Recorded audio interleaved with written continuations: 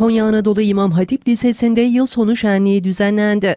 İki gün sürecek etkinlikte önce 4006 TÜBİTAK Bilim Fuarı açılışı gerçekleştirildi. bilimin ve bilimsel çalışmaların ne olduğunu projelerimizde öğrendiler. Burada tasarım projelerimiz var, inceleme projelerimiz var, araştırma projelerimiz var. Öğrencilerimizin bu kitap okumaları, araştırmaları onların eğitim ve öğretim hayatına katkı sağladı. Öğrenciler tarafından geliştirilen birçok projenin bulunduğu fuar ilgi gördü. Burada sizlere maden suyu ve e, sodanın farklarını, hangisinin daha sağlıklı olduğunu açıklayacağız. Burada da gördüğünüz gibi iki e, çiçeğimize birini sodayla birini maden suyuyla suladık.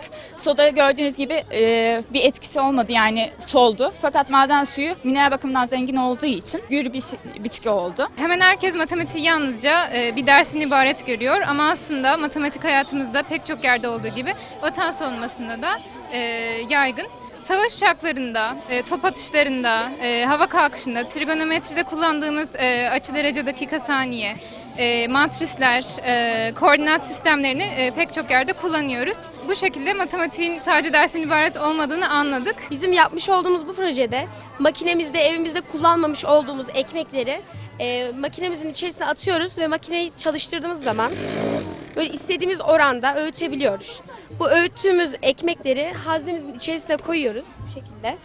Bu haznenin içerisine koyuyoruz ve haznenin içerisindeki sistemden dolayı sürekli devir daim yapıyor ve buradaki hiç burası hiç boş kalmamış oluyor. Ki amacımız sokak hayvanlarının karnını doyurarak israfı yani ekmek israfını önle- önlemektir.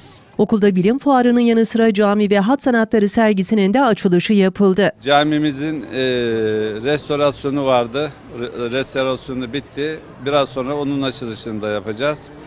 E, özellikle Konya Anadolu İmam Hatip Lisesi'ne genelde Konya'mıza bu çalışmalarımızın hayırlar getirmesini ilerleyen zamanda daha güzel çalışmalarla bir arada bulunacağımızı ifade edeyim. Okulun her köşesinde ayrı bir etkinlik vardı.